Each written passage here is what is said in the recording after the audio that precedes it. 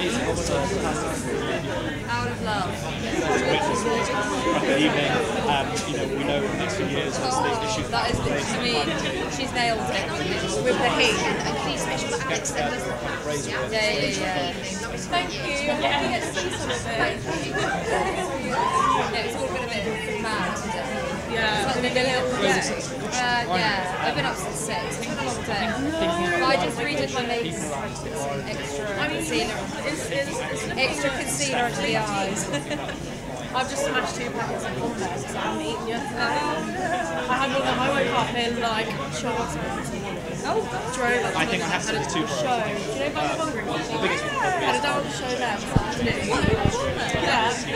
Yeah. Yeah, I got ready in one It's really scary. We need to focus on that. But also, like, as a doctor, I'm really worried about what's it? Really, it's like mental. It is, honestly, I can only go there.